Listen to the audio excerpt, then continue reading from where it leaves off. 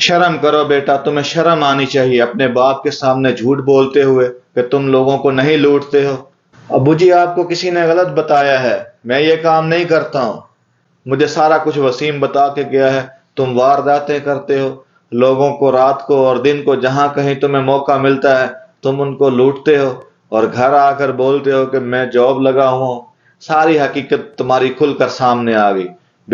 ओहो अबू जी, वो तो मुझसे वैसे ही हसद करता है। मैं तो नौकरी करता हूँ, आपको पता ही है।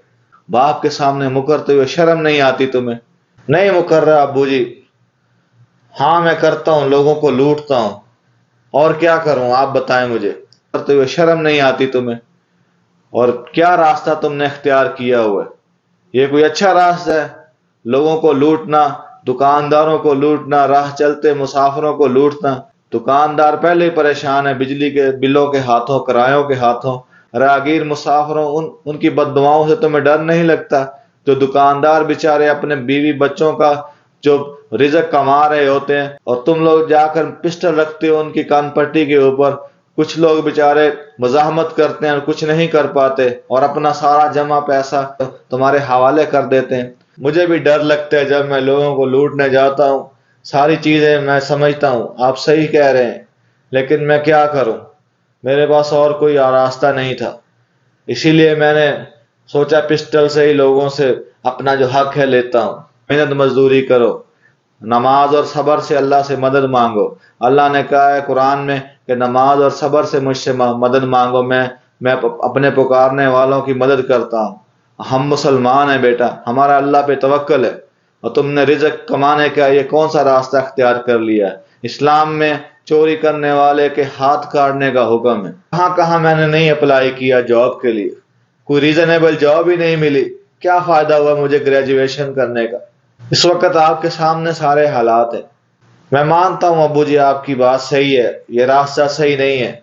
ये रास्ता बुराई का रास्ता है। लेकिन मैं क्या करूँ, आप बताएँ। मैं अपने बीवी बच्चों को और आपको कहाँ से खिलाऊं? कराची में फ्लैट के जो किराए हैं, कहाँ से पूरे करूँ?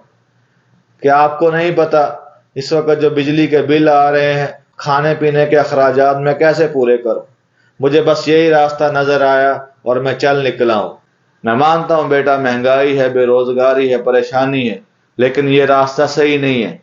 ये वो रास्ता है जो जहन्नम की तरफ़ जाता है। इसको मुआशरा भी तस्लीम नहीं करता, ना हमारा दीन इसको तस्लीम करता है। तुम लाख अपनी बेगुनाहियाँ देते रहो, मजबूरियाँ बताते रहो। लेकिन ना इस्लाम कबूल करेगा तुम्हारी इस बात को, ना ही मुआशरा तस्लीम करेगा। और वैसे भी लोग बड़े सताए हुए हैं। अल्लाह ना करे किसी दिन तुम दुकान के ऊपर लूटने जाओ लोगों को तो तुम्हें आगे से कोई सवा शेर मिल जाए।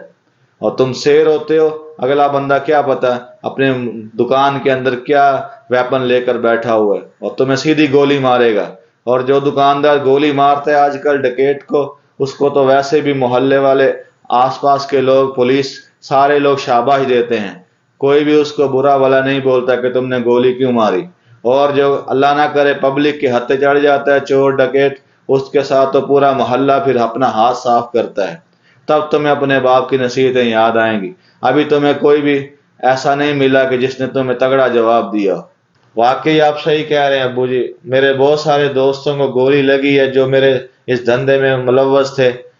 उनके जनाजे में भी दो चार लोग ही गए। बाकी कोई भी नहीं गया कि अच्छा हुआ डिकेट मारा गया। इस वक्त मैं भूख के हाथों मजबूर हूँ अबू जी। मैं अकेला तो कसूरवार नहीं हूँ इस सब का। इस मुल्क के अंदर जो माहौल बना दिया गया है अबू जी, मैं भी उसी का हिस्सा हूँ।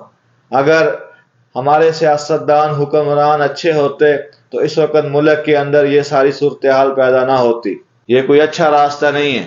और तुम अपने मन तक की अंजाम को ज़रूर पहुंचोगे। ये जो रास्ता तुमने इख्तियार किया हुआ है, लोग वैसे महँगाई के हाथों परेशान है, सताए हुए हैं। कुछ सियासतदानों ने बेड़ा गर्क कर दिया मुल्क का और कुछ तुम लोगों ने अवाम का जीना हराम किया हुआ और किसी दिन मुझे खबर आएगी कि तुम्हारा बेटा जो है मारा गया और मैं तुम्हें बता रहा हूँ बेटा, अगर पुलिस ने तुम्हें पकड़ लिया, मैं कसम खाता हूँ, मैं तुम्हारे पीछे पुलिस स्टेशन नहीं आऊँगा। और ये मैं तुमसे सच्चा वादा कर रहा हूँ। क्योंकि मुझे ये रिजक नहीं चाहिए। तुम अपने बच्चों को भी हराम खिला रहे हो, साथ में हमें भी हराम खिला रहे हो। मुझे अंजाम भी पता है, अबू जी। मेरा अंजाम या गोली होगी या जेल की सलाखें होंगी। दोनों अंजाम मेरे दिमाग में रहते हैं। आपको क्या लगता है कि मैं आसानी के साथ लोगों को लूटता हूँ? हर वक्त मैं डरा होता हूँ। हर वक्त डर मेरे साथ होता है। जब मैं बाइक पर बैठकर निकलता हूँ तब मुझे यही लग रहा होता है कि शायद आज मेरी वापसी ना हो। वापिस आ जाओ। हम रुखी सूखी खाकर गुजारा कर लेंगे। हमें ये तुम्हारे हराम के कमाए हुए पैसे नहीं चाहिए, जिसके अंदर लोगों की आहें बदुआएँ हों। तुम्हें बदुआओं से डर नहीं लगता? क्या तुमने अल्लाह का सामना नहीं करना? करना है अल्लाह का सामना अबू जी। ये देखो, मैं तुम्हारे सामने हाथ जोड़ रहा हूँ। तुम मेरे अकलौती औलाद हो और ये काम छोड़ दो। मुझे शर्मिंदा ना करे। खुदारा हाथ नहीं जोड़े। आप जैसे कहेंगे मैं वैसे कर लूँगा। मैं आपका